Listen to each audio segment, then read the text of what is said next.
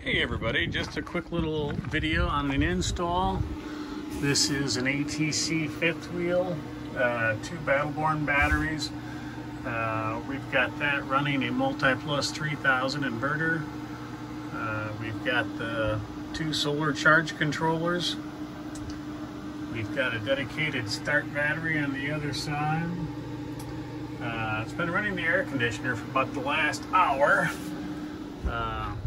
With the solar running, so we're down a little bit on the battery capacity, but just testing the system out.